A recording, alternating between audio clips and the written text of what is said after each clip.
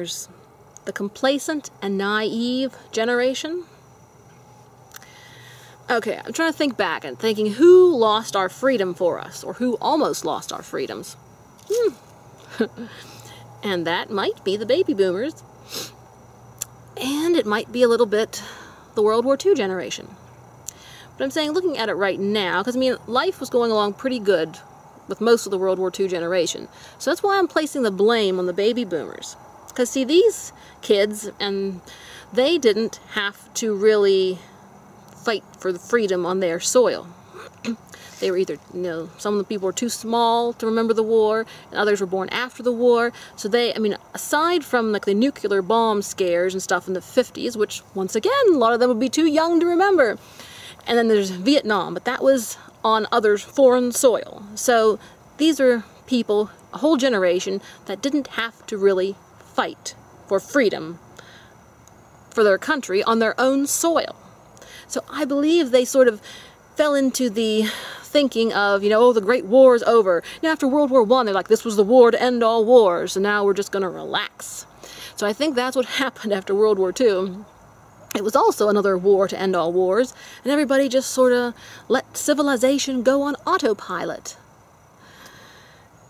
And, um, and then, because I mean, whenever I was a kid growing up, it seemed like nobody really worried too much about politics. You know, they took America for granted. They're like, ah, freedom's always going to be here. America's always going to be here. Goodness, and righteousness, and the just American way is always going to prevail. Everything's going to be great. And then look where we are today. All the while, they had been thinking how everything was going to great, be great, and how America was always going to be free. You know, America not be free? What? You know, people just took America for granted. And then this allowed the left to really sneak in and infiltrate and infect the society in America. And then the infection really came out, you know, in the last 10 years. And this is where we are. We're at a place where so many institutions are crumbling because there's just rampant discrimination based on the political correctness, and we very nearly lost our country because we weren't paying attention. So, do you think it was the baby boomers' fault? People who were just too confident that America would always be here, always be strong, and always be the best. You think overconfidence is what has brought us to a point where we almost lost our country? comment below. I said this is a big issue and we got to realize, you know, I said freedom is never more than one generation away from extinction. Never.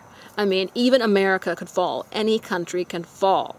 So we always must be vigilant and we must fight to keep everything equal and keep our Constitution going and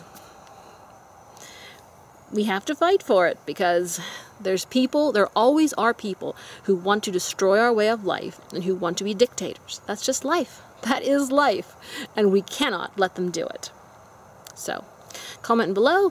Do you think the baby boomers are responsible? Are the people, you know, born in the late 30s and 40s, are they responsible for lulling us into uh, a safe feeling of safety and American invincibleness? Are they? Or do you think there's another reason why America and Americans were just caught napping while the communists and socialists were infiltrating all our schools and ranks, schools and businesses and medical and hospitals and government? What do you think happened? Okay. Comment below and let freedom ring.